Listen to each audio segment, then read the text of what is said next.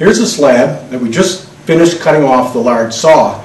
The next thing we want to do is take advantage of one of the many templates that we have to, to trace an attractive uh, shape. This particular template happens to have circles and, and ovals, and I'm sort of an oval guy, so, so that's what I do is uh, I find a way, I orient the, the oval on the slab in a way that makes it a, some, something pleasing about it. This one has to have a stripe through it, so I can have a sort of like a diagonal stripe in the finished stone when I'm done.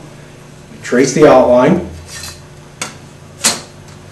Then I use this saw, a, a diamond bladed saw as well, to actually trim uh, the, the shape out of the slab. I trim as much as I can. I trim as much as I can off the slab, so I don't have to grind it off.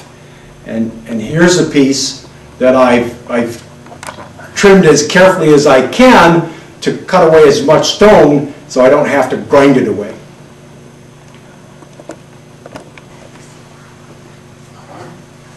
This particular saw is open. Uh, it does have an oil splash guard on the top to prevent uh, all of the oil that spins off the blade to, to spinning on the front of your shirt and, or blouse or skirt or whatever you got.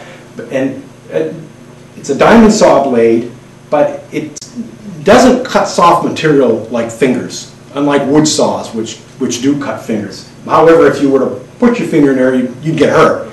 And all you have to do is be careful to not get your fingers on the very edge of the saw blade. So what I've, after I've traced the outline on the stone,